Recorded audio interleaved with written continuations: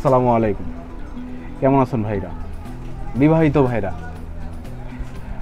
যেহেতু আপনাদের বিয়ে হয়ে গেছে, যেই আপনার বিয়ে নিয়ে যেই আলাপ আলোচনা ছিল, সেগুলো নিয়েই মানে কনক্লুশন না, ঠিক? জাস্ট আরেকটু কিছু কথা বলার চেষ্টা করছি। বিয়ে হইলে আপনার জীবনের অনেক কিছুই চেঞ্জ হবে।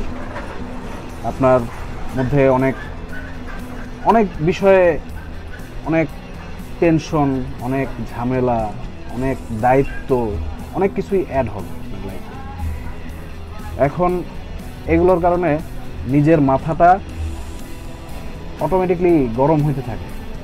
অটোমেটিকলি গরম হইতে থাকে যে এত এত এত প্রেশার এত টেনশন এত এই সেই।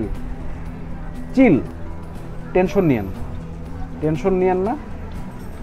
জাস্ট ঠান্ডা মাথায় আগান। সব ঠিক হয়ে যাবে ইনশাল্লাহ আপনি ধরেন গ্যাদারিং চলতেছে, বউ শাশুড়ির অথবা শাশুড়ি মানে শাশুড়ির সাথে বউ, বউয়ের শাশুড়ি বউয়ের সাথে শাশুড়ির ঝগড়াঝাটি চলতেছে বা মানে কোন্দল চলতেছে বা ননদের সাথে বউয়ের বা মানে বিভিন্ন সমস্যা চলতেছে। জাস্ট আপনি ঠান্ডা থাকেন। ঠান্ডা থেকে সবাইকে একসাথে বসান। যে এই পক্ষ, ওই পক্ষ, সামনাসামনি বসান। বসানোর পরে হবে কি, তাদের দনোজনার সমস্যাগুলো বের হয়ে আসবে।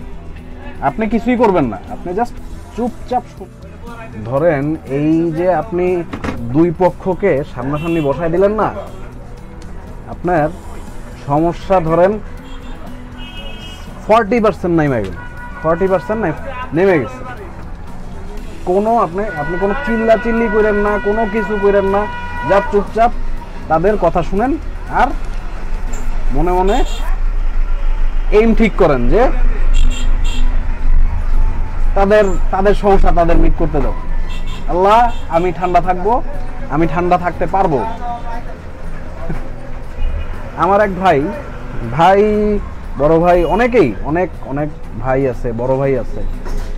তারা বিয়ের পর অনেক অনেক চেঞ্জ হয়ে।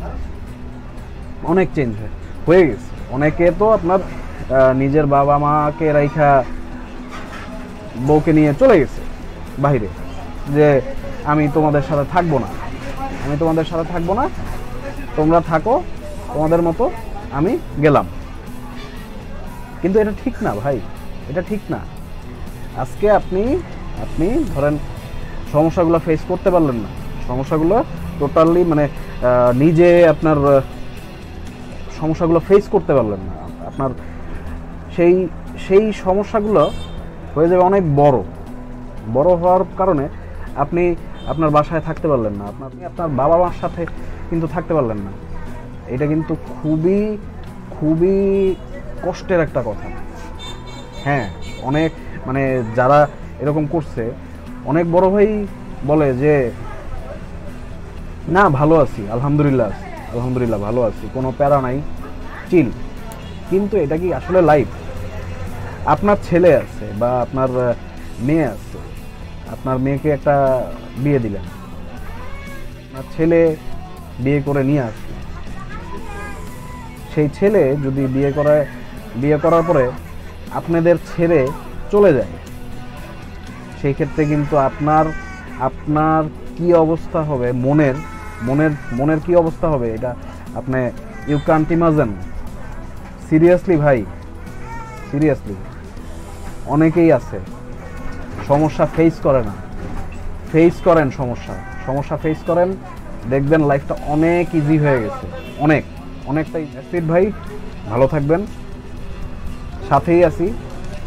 জানাবেন লাইক অ্যান্ড সাবস্ক্রাইব দিয়ে যাবেন। Thank you